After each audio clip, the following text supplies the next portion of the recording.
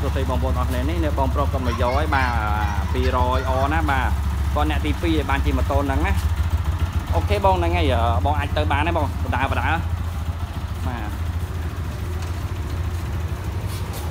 អូខេអរគុណចាស់បងសុខសប្បាយតាមផ្លូវអរគ្នាបងណាបាទបងប្រុសគាត់មកយកឲ្យបាទមើលភ្លាមត្រូវភ្លាម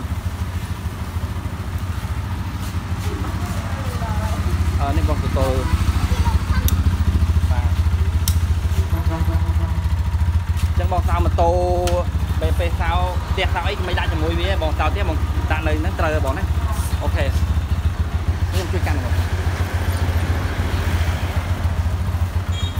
បាទអូខេបងសុខសប្បាយតាមផ្លូវអរគ្នាបងបាទគ្រួសារគាត់ល្មមបាទអែម